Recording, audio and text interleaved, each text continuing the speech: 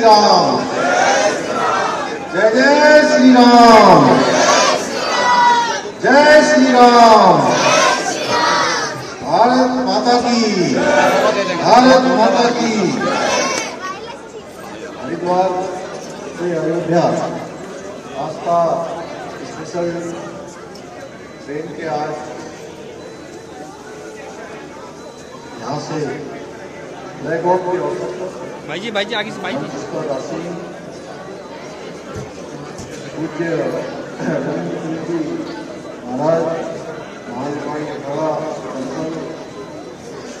स्वामी प्रकाश और राष्ट्रीय स्वयं सेवक संघ के पाँच आदि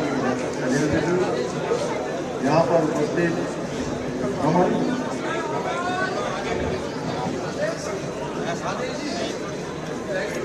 हरिद्वार क्षेत्र के हमारे लोकप्रिय विधायक आदरणीय मदन कौशिक जी, रानीपुर क्षेत्र के लोकप्रिय विधायक भाई आदेश चौहान जी, संजय गुप्ता जी, हमारे सभी भारतीय जनता पार्टी के जिलाध्यक्ष भाई संदीप गोयल जी एवं सभी हमारे आए हुए अतिथिगण जो इस अवसर पर यहाँ पर उपलब्ध है, यहाँ के डी साहब और सभी बहुत ज़्यादा औपचारिकता में न जाते हुए मैं सबसे पहले तो आज जो ये ट्रेन यहाँ से अयोध्या के लिए रवाना हो रही है, मैं उसके लिए आप सभी को बहुत शुभकामनाएँ देता हूँ, बहुत बधाई देता हूँ।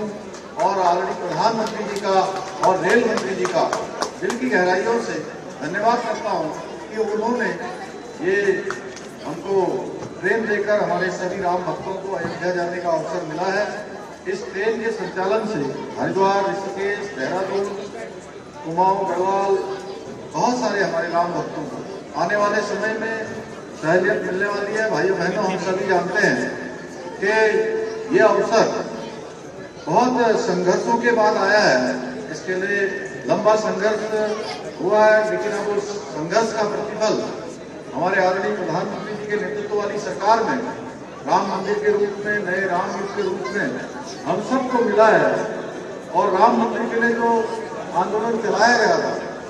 वो आंदोलन अर्पण भी था, तर्पण भी था, संघर्ष भी था और संकल्प भी था जिनके त्याग, बलिदान और संघर्षों से वर्षों पुराना ये स्वप्न और संकल्प पूरा हुआ, जिनकी तपस्या राम मंदिर में नींव की भांति जुड़ी हुई थी। मैं उन सभी को नमन करता हूँ, सबको वंदन करता हूँ, सबको प्रणाम करता हूँ भाइयों, बहनों, हमारे प्रधानमंत्री आदरणीय नरेंद्र मोदी जी के नेतृत्व में भारत में भगवान भास्कर के सानिध्य में सरयू के किनारे एक स्वर्णिम इतिहास रचा है। क्योंकि अब सदियों का जो इंतज़ार था, वो समाप्त हो गया। हर कोई अयोध्या जाकर भगवान श्री राम के दर्शन करना चाहता है। हर कोई लालायित है।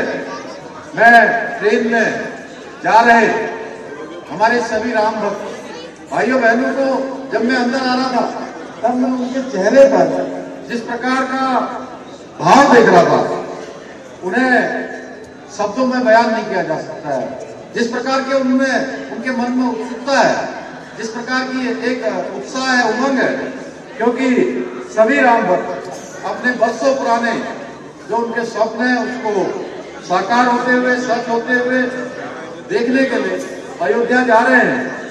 भाई बहनों, मुझे पूरी उम्मीद है कि राम मंदिर हमारी संस्कृति का आधुनिक प्रतीक बनेगा और पूरे विश्व का सबसे बड़ा अध्यात्म का हमारा धार्मिक केंद्र बनेगा। हमारी शाश्वत जो आस्था है, उसका प्रतीक बनेगा। हमारी राष्ट्रीय भावना का प्रतीक बनेगा। और ये मंदिर करोड़ों करोड़ों लोगों का जो सामूहिक संकल्प है, उस संकल्प की शक्ति का भी प्रतीक बनेगा। श्री राम मंदिर आने वाली पीढ़ियों को आस्था और श्रद्धा का संकल्प हमेशा उनके मन में बना रहे, ऐसी प्रेरणा देगा।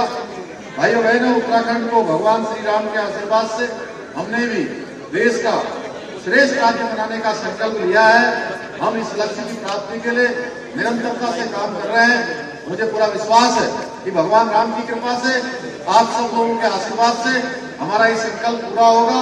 मैं एक बार फिर से अयोध्या जाने वाले सभी राम भक्तों का, सभी राम भक्तों का इस अवसर पर बहुत अभिनंदन करता हूँ माननीय प्रधानमंत्री जी का और रेल मंत्री जी का।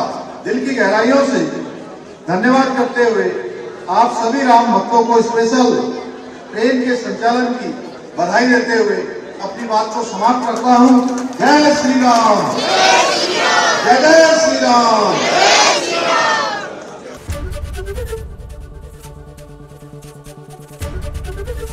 एबीपी गंगा खबर आपकी जुबा आपकी।